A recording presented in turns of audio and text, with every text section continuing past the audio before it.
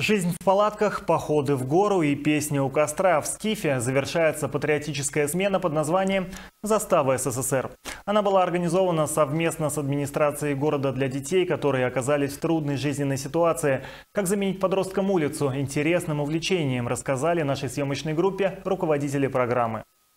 Им от 11 до 17 лет. В основном это подростки и дети, оказавшиеся в трудной жизненной ситуации. Можно сказать, что в Скиф они приехали на перевоспитание. Жизнь в палаточных условиях, подъем в 7 утра, зарядка, многочасовые походы в горы и тренировки.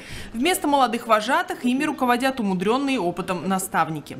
Программа у нас военно-спортивная, то бишь если до обеда, допустим, у нас идет э, военная дисциплина, после обеда идет у нас спортивное мероприятие. Сегодня, допустим, был веревочный городок. Сейчас после обеда у нас военные мероприятия. Сейчас вот коллектив вообще, ну молодцы просто. У нас вот три взвода по возрастам, ну нормально все. Это у нас по три девочки в каждом взводе. Все они уже коллективом, они сплотились коллективом уже. Ребята признаются, поначалу не все обрадовались, что будут жить в палатках, но потом быстро привыкли и вошли во вкус. Тем более, помимо тренировок, развлечений здесь тоже хватает. Замечательно. Вот, все отлично. Больше всего, может быть, запомнилось, понравилось? А, вечерние посиделки у костровища. Мы играем на гитаре, смотрим на звездное небо.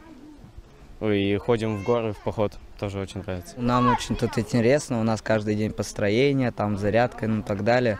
Ну, самое интересное, это вот как раз всякие походы в горы, бассейн, веревочные всякие туры. Ну, все интересно. Вот все, что можно тут и насладиться, и отдохнуть. Также с детьми на смене работают психологи и инструкторы по туризму. Главная цель смены – отвлечь подростков от улицы и вредных привычек, сократить времяпрепровождение в гаджетах. У нас ребята будут знакомиться с героическим, с героическим прошлым нашей страны, а, инструкторами на отрядах или на взводах, как мы их разделили, являются ветераны боевых действий, которые с ребятами а, получается, от, от зари до самого там заката они с ними проводят и воспитательные беседы, и тренировки, и всевозможные занятия, ну, живут обык, обыкновенной жизнью и являются вот таким прекрасным примером э, и служения своему Отечеству, и вот такого трепетного отношения к своей родине. Программа очень полезная, считают организаторы. Помимо прочих целей, им удалось показать детям, что есть разные интересные виды деятельности, которыми они могут продолжить заниматься уже в городе. Юлия Черешнева, Александр Макаров, телекомпания «Двин».